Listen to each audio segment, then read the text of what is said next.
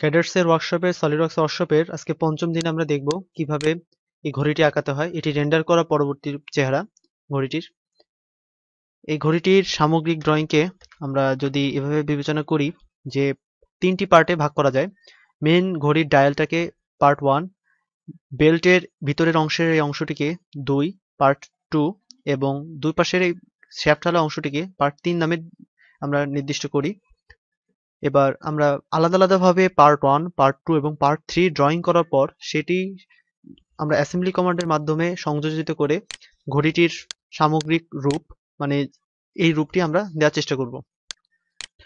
প্রথমে শুরু করা যাক তাহলে। আমরা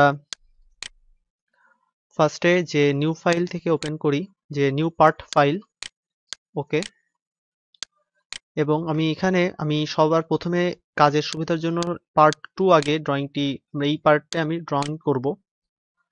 এই ড্রয়িংটি করার জন্য দেখা যাচ্ছে যে ডাইমেনশন এখানে সবই দেওয়া রয়েছে। সামগ্রিক আইসোমেট্রিক রূপটা এরকম হবে।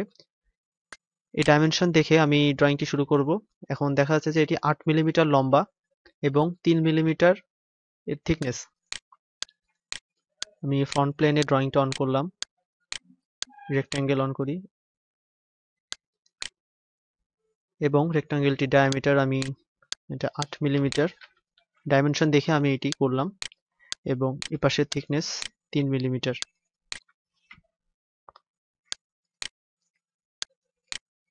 এরপর এখান থেকে দেখা যাচ্ছে যে এক্সট্রুড কমান্ডের মাধ্যমে এটি বারো মিলিমিটার লম্বা হবে। আমি ফিচার্স থেকে এক্সট্রুড বস বেস কমান্ডটি নিব এবং ড্রয়িংটিকে বারো মিলিমিটার পরিমাণ এক্সট্রুড করব। এবার এপাশের সারফেসটিতে আমি সিলেক্ট করে স্কেচ অন করে আমার দেওয়া ডাইমেনশন অনুসারে দুইটা সার্কেল অন করব, যে সার্কেল দুটি কর্নার এস থেকে ওয়ান পয়েন্ট ফাইভ মিলিমিটার এবং দুপাশ থেকেই সমান মানে ঠিক দুই এজের মধ্যবর্তীতে রয়েছে মানে যেটা ওয়ান পয়েন্ট ফাইভ মিলিমিটার উপরে রয়েছে, নিচের সারফেস থেকে। আমি সারফেসে আমি যদি একটা সার্কেল ড্র করতে চাই এখন আমি একবারে একটা ডাইমেনশন দিতে পারি। সেটা হলো যে আমি যদি এই এজে মাউসটা জাস্ট নিয়ে আসি, ঠিক মাঝখানে আসলে একটা সাইন দিয়ে দেখাচ্ছে যেটা হচ্ছে মিড পয়েন্ট শো করতে করতে করছে। এবার এই সারফেসের আমি এই পয়েন্ট থেকে একটা রেফারেন্স জাস্ট মাউসটা যদি আমি টান দিই, এই পয়েন্ট থেকে, তাহলে একটা ডটেড লাইন দিয়ে কম্পিউটার আমাকে রেফারেন্স লাইন শো করে দিচ্ছে। আমি এই পয়েন্ট থেকে আমি যদি ড্রয়িং শুরু করি, তাহলে সার্কেলটির সেন্টার ঠিক এই বাহুর মধ্যবিন্দুতে তৈরি হবে। আমি এভাবে একটি সার্কেল এবং অনুরূপভাবে এই পাশে আরও একটি সার্কেল অঙ্কন করি। এবার আমি যদি কিবোর্ডের শিফট কমান্ড বা কন্ট্রোল কমান্ডটা চেপে ধরে কন্ট্রোল কি চেপে ধরে আমি দুটি সার্কেল পরস্পর সিলেক্ট করে অ্যাড রিলেশনস অপশনটি থেকে ইকুয়াল কমান্ডটি অন করি, তাহলে অনুরূপভাবে দেখা যাবে যে আমার দুটি সার্কেলেরই ডায়ামিটার সেম হয়ে গিয়েছে। এখন আমি স্মার্ট ডাইমেনশন অপশনটি থেকে একটি সার্কেলের ডায়ামিটার আমি ওয়ান পয়েন্ট ফাইভ ডিফাইন করে দিই। ওয়ান পয়েন্ট ফাইভ না ওয়ান ডিফাইন করি। যেহেতু যেহেতু আমার প্রদত্ত ডাইমেনশনে প্রতিটি সার্কেলের ভিতরের সার্কেলের ডায়ামিটার ওয়ান দেওয়া রয়েছে ওয়ান মিলিমিটার এবার স্মার্ট ডাইমেনশনটি অপশনটি অন রেখে আমি সার্কেলের সেন্টার এবং এই এজের মধ্যবর্তী দূরত্ব ওয়ান পয়েন্ট ফাইভ মিলিমিটার অনুরূপভাবে এই সার্কেল এবং এই এজের মধ্যবর্তী দূরত্ব ওয়ান পয়েন্ট ফাইভ মিলিমিটার নির্ধারণ করি।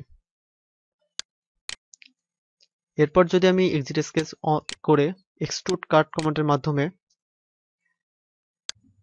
আমি এক্সট্রুড কাট অপশনটি চালাই, তাহলে মোটামুটি আমার বেসিক শেপটা রেডি এবার ফিলেট অপশনটির মাধ্যমে ওয়ান পয়েন্ট ফাইভ রেডিয়াসের ওয়ান পয়েন্ট ফাইভ রেডিয়াসের ফিলেট কমান্ডটি নিই এবং এই দুপাশের এজে ফিলেট কার্যক্রমটি চালাই।